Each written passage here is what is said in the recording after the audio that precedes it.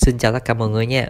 À, Hôm nay mình sẽ chia sẻ cho mọi người một cái bản ngọc cho Elsu trong những mùa mới này Cũng như là à, Elsu à, bản ngọc mà các bạn có thể xem đây. Về phần bản ngọc đỏ chúng ta sẽ lên tỷ lệ chí mạng 1.6% cho Elsu chúng ta sẽ lên cho mình là 10 viên. Và về phần bản ngọc tím á, thì mình sẽ chủ trương à, lên như thế này đây. Chúng ta sẽ lên cho mình là một cái lượng đó là lượng hút máu 1.6% nên chúng ta sẽ lên cho mình là 3 viên và 7 viên còn lại của bản ngọc tím thì chúng ta sẽ lên là tóc đấm là tóc chạy cho mình nhé.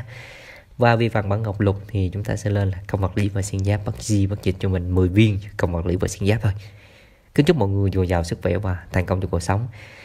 À, mong mọi người hãy luôn khỏe mạnh và cùng đồng hành với mình trong thời gian tiếp theo. Mà xin mọi người cho mình xin cái nút đăng ký nha mọi người.